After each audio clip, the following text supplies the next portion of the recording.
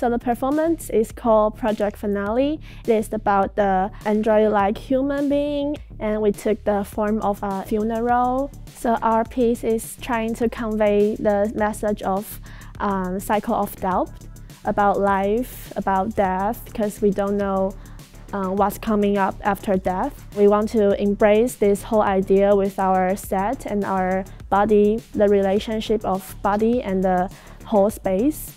Our piece go around a sentence from Buddhism. Before I was born, who was I?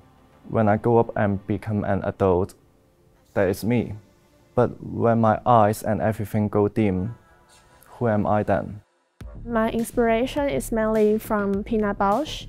Her dance theater's methodology like repetition or daily gesture repetition really inspired me for the performance we can see the structure is really huge, really high, and it takes us at least a month to do that. The whole process is more like a ritual.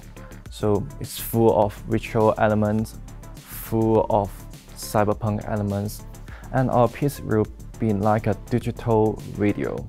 So throughout the whole performance, the message will um, constantly, gradually revealing the, the quote, who am I, and before I was born, after I was born, who am I then? And it is um, throwing the question to the audience. I think this is a really good process to all of us to think about our question, who am I?